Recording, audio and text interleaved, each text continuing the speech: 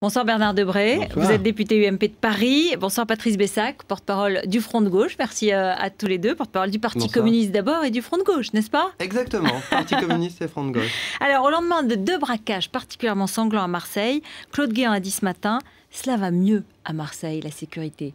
C'est un peu maladroit quand même, non? Oh, C'est maladroit, vous savez, c'est comme toujours, euh, en politique, euh, comme ailleurs. Euh, chacun a ses statistiques, chacun y va en disant euh, globalement ça va mieux, c'est possible. Mais c'est vrai qu'il y a des événements qui sont absolument dramatiques et qui euh, occultent le reste. Alors je ne crois pas qu'il fallait jouer en disant ça va mieux, ça va moins bien. Il y a une sensation d'insécurité. Le sentiment d'insécurité, le Et, fameux. euh, oui, mais, Mais il existe, est- il existe, on le voit très est- bien. Vous bien savez, euh, je dirais, toute proportion gardée, nous avons aussi en médecine un problème. Dans les, chez les médecins généralistes, ils sont de plus en plus agressés. Euh, les gens sont très agressifs. Il y a des explications. Cela dit, je ne veux pas rentrer dans le débat. Il y en a un petit peu moins, il y en a un petit peu plus. Je crois qu'il faut être très. Est-ce que, très est-ce que vous n'avez pas le sentiment, je vous donne la parole dans un instant, qu'on entend des recettes, des propositions sur la sécurité qu'on a déjà entendues en 2007 et on se demande mais pourquoi vous ne les avez pas mises en œuvre depuis? Ruth Elkrieff, je crois que vous vous On trompez. le- les mêmes On les a entendus en 1980, 1988, 2002, 2007 et, et actuellement. Euh, De, de tous les partis politiques. Je crois que c'est extrêmement compliqué. Parce que, encore une fois, il y a la, la sécurité ressentie ou l'insécurité ressentie.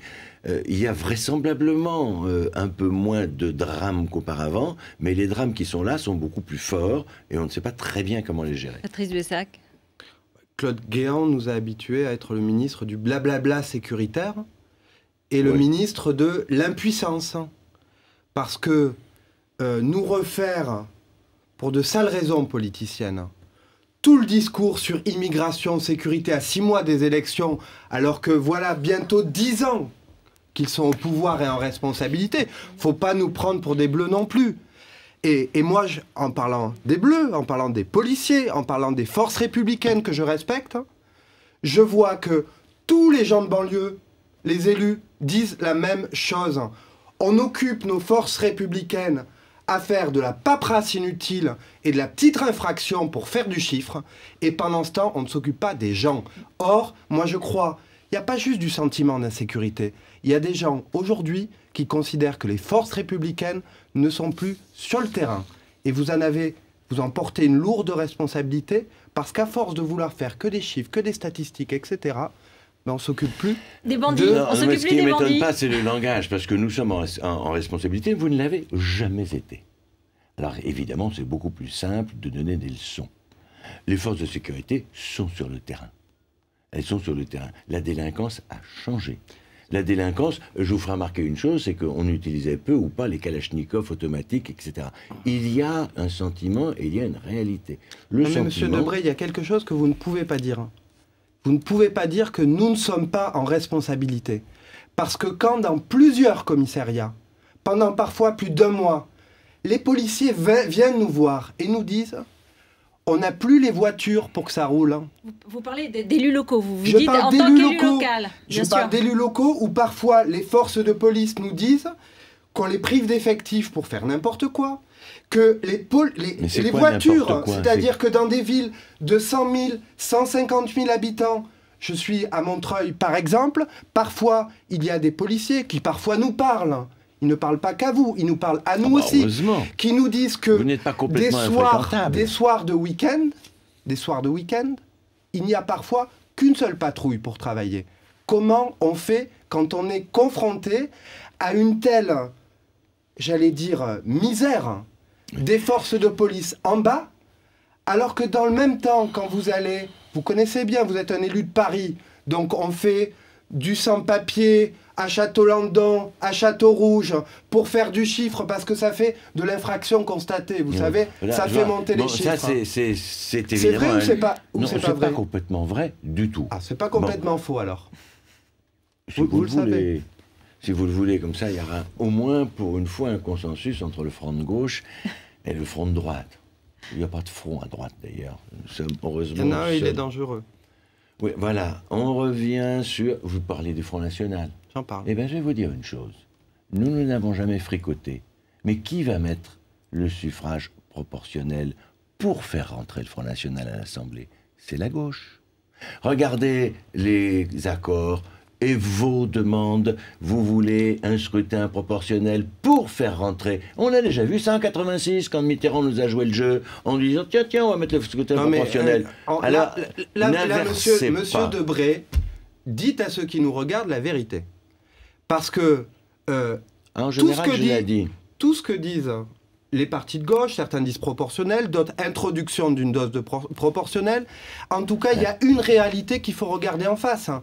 C'est qu'il y a une partie des Français aujourd'hui qui ne se sentent plus représentés ah, par les, par, les hommes politiques tels que nous sommes. Vous le savez, je crois que Simone Veil l'avait dénoncé à son temps, il y a moins de femmes à l'Assemblée nationale qu'il n'y avait en 1945. Eh bien moi, oui, je crois qu'il faut faire rentrer à l'Assemblée nationale la réalité du peuple français. Ah, plus de femmes, plus de euh, mélange, ne venez pas, une vraie vie. Ne venez pas me dire que nous fricotons avec le Front National, puisque vous voulez le faire rentrer à l'Assemblée nationale au nom de la représentativité, dont acte.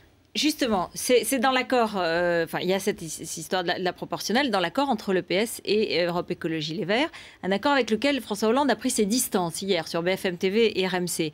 Euh, est-ce que vous trouvez que c'est une bonne chose? Est-ce que cet accord est une bonne chose Ou est-ce que le fait que François Hollande ait pris ses distances est une bonne chose?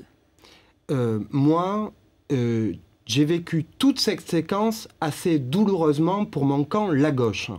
Pourquoi? Parce que les gens que j'ai rencontrés, à juste raison, ont eu le sentiment qu'on se mettait d'accord sur des coins de table et qu'on ne s'occupait plus d'eux. C'est-à-dire qu'on échangeait des circonscriptions contre telle ou telle mesure et qu'on ne se préoccupait plus de la seule chose qui intéresse les Français, c'est-à-dire changement que proposent les uns et les autres. Et donc moi, je ne suis pas d'accord avec cette manière de faire. Je crois qu'il faut être clair. Il faut que François Hollande, il faut que les Verts, il faut que le Front de gauche, il faut que l'UMP, il faut que tout le monde se présente clairement aux Français, que les Français votent et le dernier mot. Et c'est sur cette base que on élit la représentation nationale et pas avec des négociations de couloir. Mais continuez à parler, je bois du petit lait.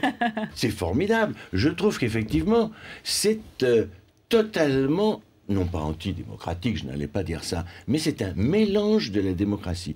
Qu'est-ce que fait le Parti socialiste avec le, Europe Écologie Les Verts Vous allez dire le Front des Verts Attention, hein. Le Front des Verts, mais si, c'est quand même un peu le Front des Verts. Qu'est-ce qu'il fait? Pourquoi est-ce qu'il a signé cet accord? 3% d'un côté et il s'est déshabillé devant le Front de Vert En tout cas, les, communistes ont, quitté, enfin, les écologistes ont quitté aujourd'hui le groupe euh, à l'Assemblée nationale qui rassemblait les écologistes et les Verts. Euh, les écologistes et les communistes, excusez-moi, au Parlement. Donc rien ne va plus. À gauche, cet accord, il continue de faire des... c'est une bombe à fragmentation qui continue à faire des dégâts dans le paysage. Mais ce sont des éclats de verre. Euh, comment dire D'abord, je pense qu'il faut tout ce qu'on respire.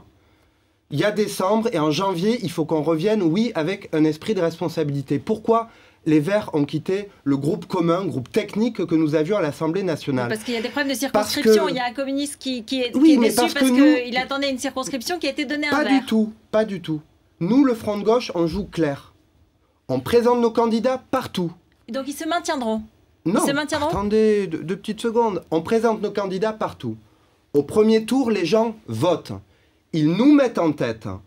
On appelle les forces de gauche à se rassembler sur le candidat en tête ils mettent en tête d'autres candidats, on appellera à voter pour le candidat de gauche le mieux placé. C'est la logique républicaine. Là, il y a une espèce de petite magouille qui consiste à vouloir faire un accord vers PS pour décagner euh, le euh, candidat communiste François, enfin apparenté communiste, François, Assensi, qui est, qui est, qui est, euh, dans une formation alternative qui s'appelle La Phase. Et moi, je ne trouve que c'est pas bien.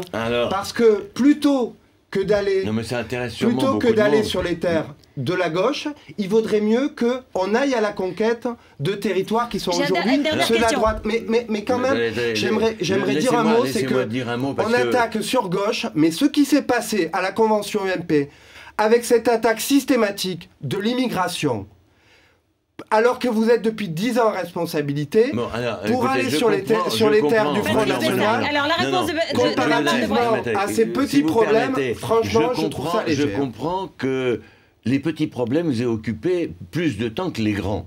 Ce que vous venez de démontrer à l'instant même, puisque vous avez parlé de M. François Assanci, qui est Oh, évidemment finissez, fondamental. finissez, Bernard Lebrun. Cela dit, ça n'intéresse que M. François peut Non, non, non, la j'ai question, posé la question. J'ai Oui, posé la question. sûr. J'ai posé Mais la Ce que je question. veux dire simplement, c'est que vous êtes comme les autres, avec les petites tambouilles pour les circonscriptions. C'est dingue, vous êtes hein. en train de le faire. Vous avez, vous Krief, faites, vous ne pouvez pas lui laisser dire ça. Mais attends. Parce que Je suis en train monsieur, de monsieur dire, Debré, si je monsieur, faire de- terminer ma monsieur phrase. Debré, une Bon, seconde. Vous alors- savez bien que nous, on n'a pas fait d'accord programmatique. Comment ça? Vous On présente un un candidat. Non, mais il a expliqué, il a expliqué. Patrice Bessac, vous l'avez expliqué. non, mais non, mais non, Le mais temps, non. Vous avez fait terminé. un accord programmatique avec Mélenchon terminé. qui n'est pas Merci communiste et beaucoup. le communiste. Vous avez fait comme les autres. Merci, merci beaucoup. Merci, on continuera, on Merci. refera des débats. Merci beaucoup à tous les deux.